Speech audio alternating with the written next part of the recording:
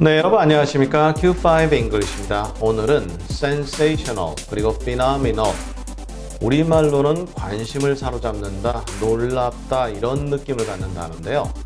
조금의 차이가 있습니다. 확인해 보시죠. 먼저 sensational은요. 관심을 사로잡는다. 이때 관심이 긍정, 부정 다 됩니다. 즉 좋은 일, 나쁜 일 다 상관없이 관심을 사로잡는데요. 그냥 원칙적으로 관심을 끈다 그러면 돼요. 물론 부정적으로 쓰일 때도 좀 많이 있습니다. 그리고 센세이셔널의 경우는요. 의도적으로 관심을 끈다 그런 느낌이 좀 있어요. 즉 신문 같은 데서 의도적으로 아주 낯뜨거운 사진 같은 걸 실른다든가 그런 느낌 들어가죠. 그런데 피나미널은요. 원래 피나미넌 어떤 현상이다 우리말로 그렇게 번역되는데 실제로 너무나 기적에 가까워요. 일어나는 일이. 그래서 보아야만 그래야만 믿을 수 있을 정도로 놀랍다란 그런 느낌이 전달되죠. 그리고 이 피나미널은요. 강한 칭찬입니다. 부정적일 때 쓰는 경우는 없습니다. 강한 칭찬이죠.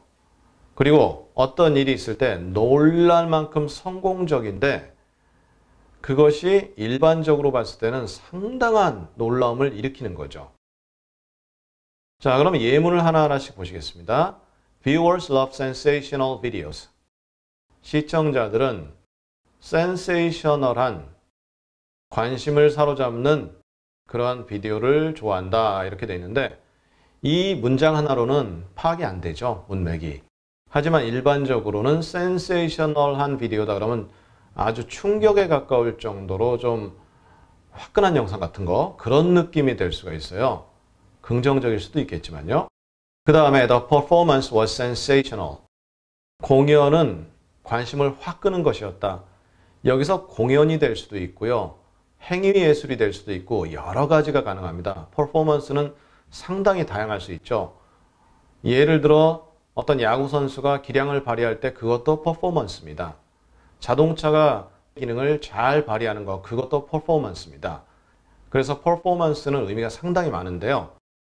그것이 센세이셔널하다 그러면 어떠한 퍼포먼스냐에 따라 달라지겠죠. 그렇지만 상당한 관심을 끌고 때에 따라서는 충격까지도 줄 수 있고 의도적으로 관심을 끌기 위해서 그렇게 일부러 만들었다. 그런 느낌이 전달되죠. 그 다음에는요. 어떠한 기자가 다이빙을 했네요.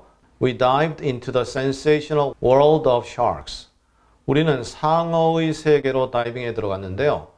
센세이셔널하다. 그것을 보면 관심이 확 사로잡히죠. 그래서 상어들이 주변에 어슬렁어슬렁대고 아마 기자는 보호 철장 안에 들어가 있을 거예요. 그렇지 않고 그냥 다닌다. 그러면 조금 위험할 수도 있죠. 그런 느낌 가져보세요. 센세이셔널한 느낌이죠. phenomenal의 예를 보시겠습니다.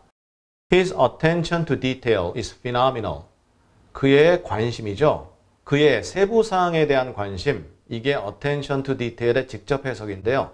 다시 말하면 세부 사항까지 꼼꼼하게 엄청 자세히 점검하고 따졌다 그런 느낌이죠. 그것이 놀랍다. 진짜 봐야만 믿어질 정도로 정말 섬세하다 그런 느낌이 전달되죠.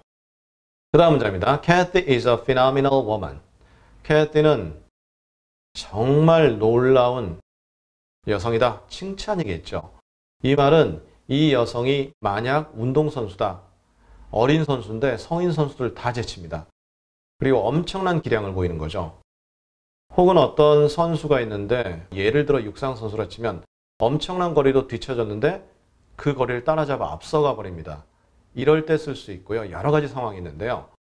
그래서 여기서 나온 말로 phenom 이렇게 쓰는 말이 있어요. 명사로 쓰는데 엄청난 사람이다. 또는 때에 따라서는 신동이다 라고도 표현할 수 있는 거죠. 그 다음 문장은요. Q5 English가 간절히 소망하는 내용이죠. My videos are phenomenally successful. 제 비디오가 성공적이다 이건데 phenomenally 느낌 오시죠? 이제는 도저히 믿기가 어려울 만큼 엄청난 성공을 거두었다는 얘기죠. 그렇게 됐으면 좋겠는데요. 지금까지 보시니까 phenomenal은 긍정 상황에서만 쓰이고요. sensational은 두 가지 상황 다 쓰일 수가 있죠. 그런데 느낌은 조금 차이가 나죠. 이렇게 해서 우리말로는 대략 비슷하게 관심을 끄는 놀라운 이런 느낌을 갖는 sensational, phenomenal 알아봤고요. 우리 다음 시간에는 땅이란 말을 의미하는 단어들이 좀 제법 있거든요. land, earth, ground, soil. 이 단어들이 갖는 의미가 또 여러 가지 있거든요. 그것을 다음 시간부터 차례차례 알아보도록 하겠습니다. 감사합니다.